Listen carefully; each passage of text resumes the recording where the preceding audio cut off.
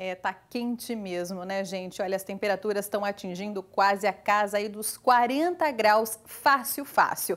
Mas você sabe qual cor de roupa é mais indicada para amenizar esse calorão todo? A repórter Joyce Cremonese foi conferir se as pessoas sabem e conversou também com o um especialista que deu dicas das cores e também dos tecidos que devemos usar.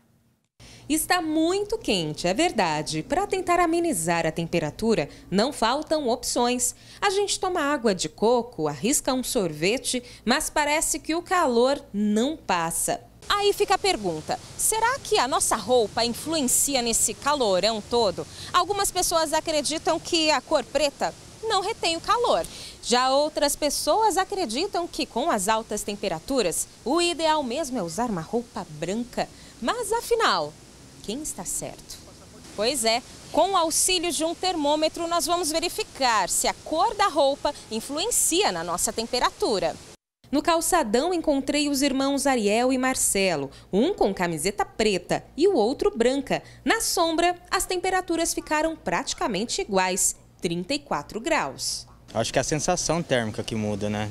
Quando você anda no sol com a camiseta branca e com a camiseta preta. Né? Andando mais um pouco, conversamos com a Viviane, que precisa trabalhar com o uniforme preto.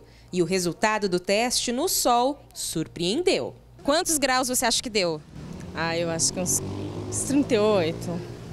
46 graus. O que, que você achou desse número? é um absurdo, né? Esses dias estão tá muito quente, está muito quente. A gente derrete, parado mesmo, fica escorrendo suor. Mas fazer o quê? E não faltaram exemplos de roupas mais quentes e mais frescas. Vamos ver então a temperatura da roupa da Rafaela. Ah, não! Será que isso é verdade? Eu vou mostrar para você para você ver como eu não estou mentindo. 50 graus. Realmente, então, tá quente aí. Quente, bastante.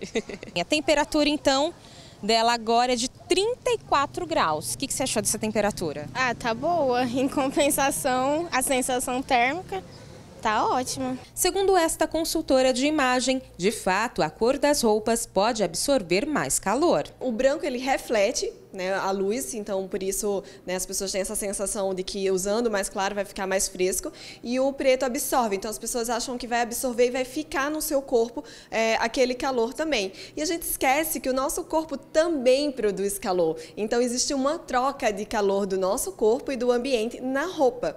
Então, na hora de escolher a roupa para o dia a dia, verifique as cores, mas também os tecidos. Hoje em dia a gente tem maior parte das nossas roupas de poliéster, poliamida, que de uma forma mais grosseira a gente pode dizer que é plástico.